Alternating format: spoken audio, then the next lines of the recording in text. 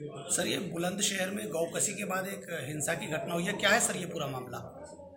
ये चिंद्रावटी चौकी क्षेत्र में सियाना कोतवाली के अंतर्गत एक सुबह सुबह सूचना मिली थी कि कुछ गोकशी की घटना हुई है।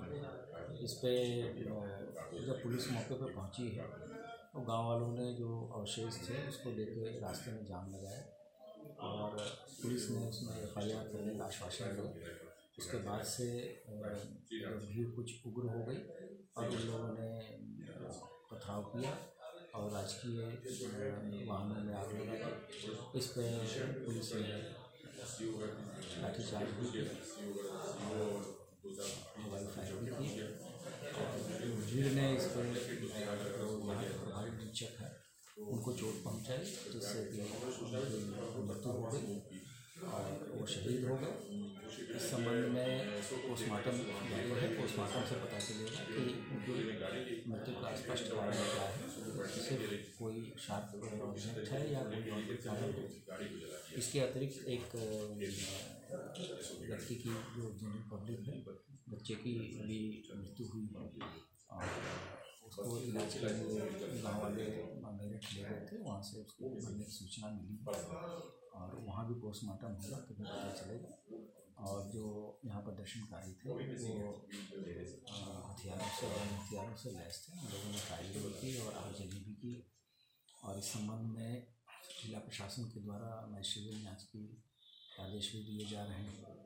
और वर्तमान में स्थिति नियंत्रण में और जो इस्तेमाल चल रहा था तो वो यहाँ से करीब तीस चालीस किलोमीटर दूर है। वहाँ से उनका और इन दोनों चीज़ों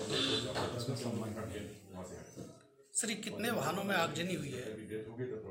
ये लगभग जो यहाँ माल मुकदमाती पुलिस थी हुआ है और सी की इंस्पेक्टर की और चौकी इंचार्ज की गाड़ी क्षति पहुँचा सर जो इंस्पेक्टर साहब की मौत हुई है क्या गोली लगने से हुई है या पत्थराव में पत्थर लगने की वजह मैंने आपको बताया कि देखने से ऐसा लगता है कि कोई शार्प एक वेपन से लेकिन पोस्टमार्टम से ही पता चलेगा कि की।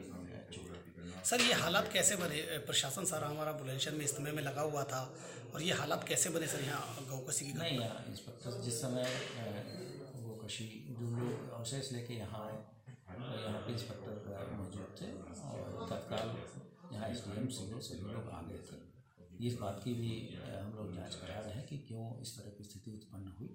तो पूर्व में भी कहीं कहीं इस तरह की घटनाओं की सूचना मिलती है लेकिन इतनी स्थिति उग्र नहीं होती। तो इन सभी कारणों की जाँच होगी। सर ये कौन लोग थे जो बलवाई थे जिन्होंने बलवा किया? इनकी पहचान की जाएगी। कुछ लोग नामजद हैं अभी भागे हुए हैं। और आगे की जब एफ़ आई आर होगी इसमें किसी संगठन विशेष के कार्यकर्ता हैं? ये बताया जा रहा है हिंदूवादी संगठन के लोग भी थे। क्या चीज़ सामने आई है? ऐसा ऐसा कोई सुपिंग रिमार्क लेना उचित नहीं और जो विवेचना होगी अभी तक सर कोई मुकदमा कायम हुआ है इसमें? अभी तो मुकदमा जो गोकशी का मुकदमा कायम हुआ है आगजनी के संबंध में अग्रिम कार्रवाई की जाएगी। Thank you sir